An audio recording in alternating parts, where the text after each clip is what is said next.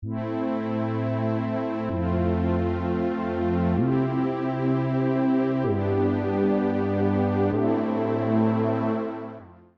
直以来，国际格局和安全形势的发展变化与世界军事领域的发展变化息息相关。为应对安全威胁，世界主要国家普遍重视军事技术的竞争优势，大力加强前瞻性、先导性、探索性的技术研究，提高武器装备远程精确化、智能化、隐身化、无人化、高速化水平，作战能力持续增长，武器装备加速更新换代，成为各国军事力量比拼的重要赛道。三代机时代，美苏空军战斗机讲究轻重搭配，经典例子如苏两七和米格二九和 F 幺五、F 幺六这两对轻重组合。苏两七和 F 幺五是重型双发机，性能好但成本高，量产相对有限；而米格二九和 F 幺六是轻型机，性能有限，但由于成本较低，可以大批量的生产，这样就快速实现了三代机大机群化，确保质量数量双有。进入五代机时代后。美国空军在列装一百八十七架 F 二二战斗机之后，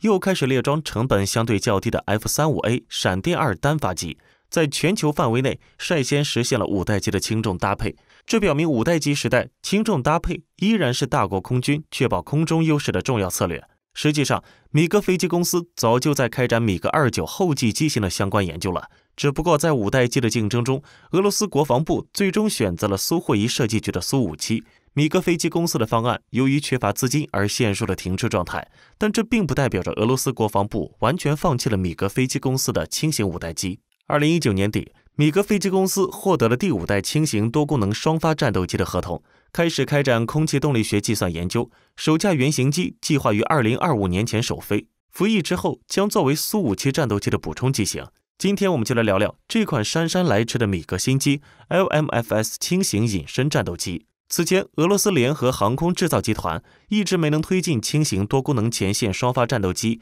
LMFS 项目的主要原因是缺少资金。联合航空制造集团是希望米格飞机公司能够通过米格三五战斗机的外销获得此项目的研发资金。然而，实际情况是，米格三五外销情况并不理想，似乎不足以为重启 LMFS 项目积累足够的资金。但随着苏五七的服役，俄罗斯空天军迫切需要一型隐身战斗机来辅助苏五七。俄罗斯联合航空制造集团内部合并改组，深入推进，将苏霍伊和米格公司在战斗机业务领域统一。因此，米格飞机公司的 LMFS 项目研发将可以共享苏五七的许多技术，如隐身气动外形、内置弹舱、融合式传感器及蒙皮材料等等。这也就意味着米格 LMFS 的研发成本将会大幅降低。已经到了可以重启的时机了。在隐身性能饱受吐槽的苏五七之后，米格的方案也就格外引人注目。目前已有米格飞机公司 LMFS 方案模型在风洞中测试的多张照片在网上流传。照片中，我们可以看到该机采用了一种与四代机不同的独特气动布局。除了第五代机标配的外倾双垂尾之外，从两张不同角度的照片可以看出，该机的水平尾翼可能采用了一种独特的可变下反角的结构。在正常角度下，平尾下反角与 F 幺六近似；在大幅下偏的情况下，平尾几乎成一对副鳍。一般来说，副鳍除了可以辅助平尾维持方向稳定性之外，还能在大迎角状态下避开机翼湍流的影响，为飞机提供足够的方向安定性，增加大迎角状态下的控制能力。因为此时由于受到机翼的遮挡，传统垂尾的作用会大大的下降。除了增强稳定性的作用之外，这种类似于副鳍的平尾设计还十分有利于战机的侧向隐身。不过，作为代价，其平尾偏转到某些角度时，可能会造成战机在某一方向上的雷达散射截面瞬间增大，这对其隐身性又是一种破坏。不过，这种取舍其实非常适合俄罗斯的国情，后者主要的假想作战方向是传感器密度极大、威胁来自于各个方向的欧洲战场。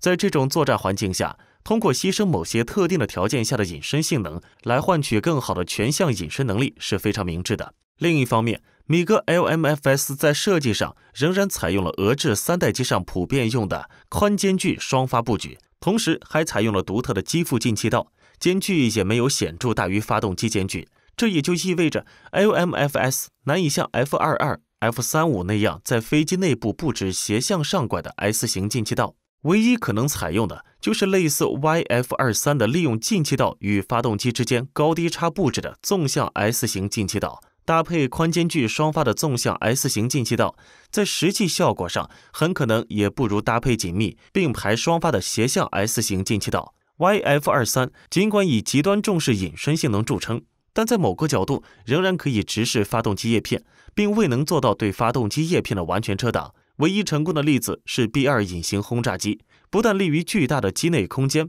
布置了一个完美的 S 型进气道，还将尾喷管也做成了 S 型。采用直通进气道的苏五七战斗机，虽然号称在换装产品三零发动机后便可以解决发动机叶片的隐身问题，但从美国采用的类似措施来看，可能就是在产品三零发动机本体前方加装了自带的雷达屏障，实现最起码的遮蔽，但效果依然不如 S 型进气道。进气效率也会大受影响，抵消一部分发动机的推力。目前采用雷达屏障最成功的例子，便是已退役的 F 幺幺七夜鹰，在进气道入口安装了一层致密的雷达屏障，以最大程度牺牲发动机性能为代价，换来最好的隐身效果。由于采用机腹进气道设计，LMFS 不仅在进气道的隐身处理上会对米格设计人员的功力造成很大考验，而且也难以在机腹布置大尺寸的机腹弹仓。很可能会像苏五七一样采用细长的主弹仓设计，但由于米格 LMFS 先天尺寸的局限，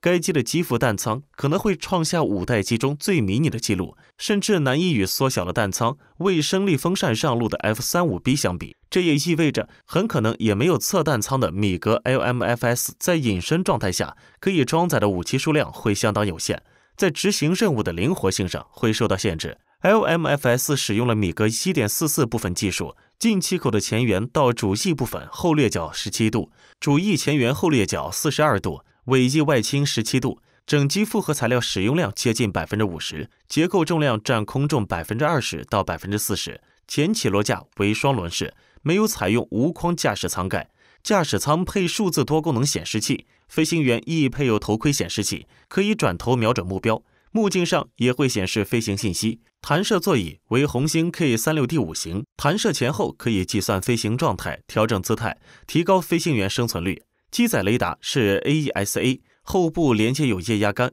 可以在水平和垂直方向上转动，减小盲区。雷达具备低可探测模式，最大对空追踪距离二百到二百五十千米，可追踪十个目标，共攻击其中八个。对巡航导弹追踪距离一百七十千米，对地面目标追踪距离九十千米。机载武器为 RVV-SA 和 R 七三空空导弹，一门三十毫米 GSH 三零一航炮，翼下还有四个外挂点。根据目前的设想，LMFS 战斗机将装备一对由克里莫夫公司生产的 VK 十 M 加六涡轮发动机。这种发动机是基于米格二九系列 RD 三三发动机的升级版，每台的推力约有十吨。飞行速度能够达到一点八马赫至二点零马赫，搭载外挂副油箱时，最大航程约为四千公里。可以说，在隐身战斗机设计上，俄罗斯至今没能推出一个以他国眼光来看比较靠谱的方案。在冷战时代，米格设计局作为苏联战斗机最大的制造商，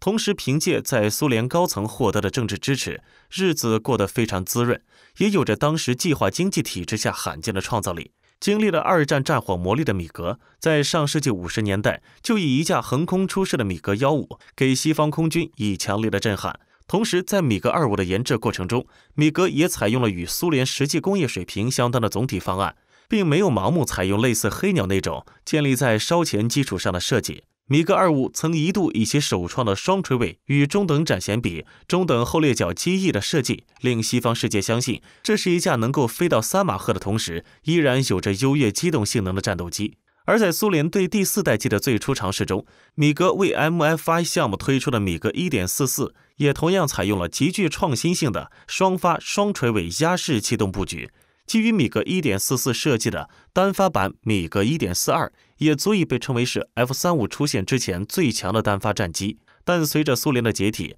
生意长期不景气的米格再也难以重现往日的辉煌，只能依靠对米格二九进行各种小修小改勉强度日。在俄罗斯整体经济实力仍无望恢复的情况下，最新版 LMFS 轻型隐身战斗机能否实现米格重振雄风的梦想，犹未可知。本期的视频就到这里了，请持续关注我们，既可以收看最新的视频，又能浏览往期的精彩。欢迎在评论区留言，我们下期再见。